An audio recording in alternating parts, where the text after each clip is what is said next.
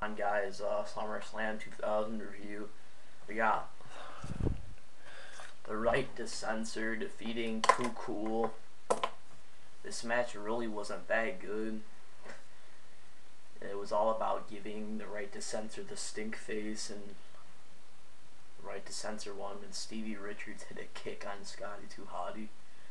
Two and a quarter stars. X Pac defeats Road Dogg boring match. I mean, it was decent.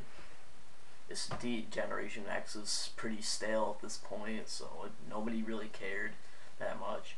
X Pac wins with a low blow and an X Factor, two and a quarter, two stars. Eddie and Chyna. The first half of the show is trash. Eddie and Chyna defeated Trish and Val Venis for the Intercontinental Championship. This is like a mixed tag team match, and whoever got the pin got the title. Pretty sure. Chyna got the pin on Val Venis. Ugh, alright match. Two and a quarter.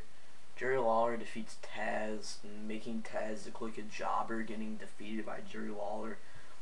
Um, at the end of the match, uh, Jerry, Law I mean uh, Jim Ross, well Tazz is trash talking Jim Ross throughout the match. So Jim Ross took the the huge glass thing of candy inside of it and he hit it at Tazz's face and Jerry Lawler got the win. One and a half stars. Z Blackman defeats Shane McMahon for the hardcore title.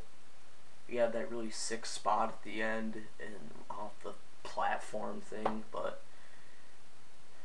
uh, it was it was a pretty good hardcore match. Three stars. Steve Blackman wins.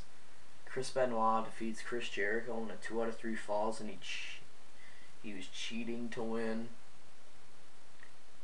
won. Well, the first fall ended up.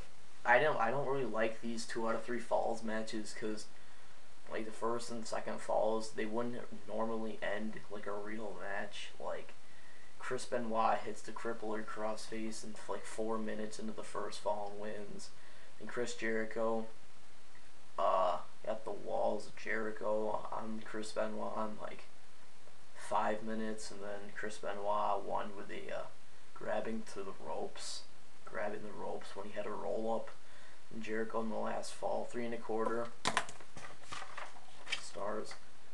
Uh, Hardy Boyz versus Edge and Christian versus the Dudley Boyz. Edge and Christian won this TLC match, the first ever one. So uh, when TLC comes, I'll be reviewing every single TLC match, and then I'll put them in order. When that time comes, and also with Hell in a Cell, I'll do the same thing but it's gonna be a lot of matches to review. Oh god, that's gonna be tough.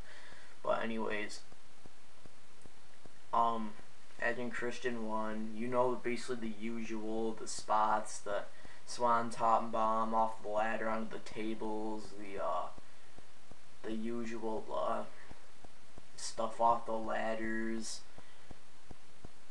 This is the one where Edge speared Lita, I'm pretty sure and uh, Christian won this again. Won three of them. I don't understand why. Five stars. Classic match. Terri defeats the Kat. Stink face match.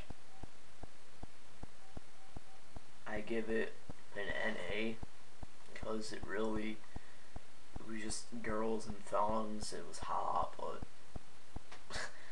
it wasn't a, wasn't meant to be a match or anything. I gotta say Terri Runnels, one of my favorite divas, probably like hot wise. She looks like she reminds me of uh, Jennifer Aniston a lot. Um, give it an NA. Terri, wait no, the Kat one, yeah. So, sorry I'm not in depth with this review because I'm tired. I'm watching this. Uh, NA Undertaker Kane and the no contest. This is stupid. Why would you have this on the pay-per-view? Star. This is all about Undertaker ripping off the mask, and it wasn't even like officially a match, so it was a waste of time. Give it a star.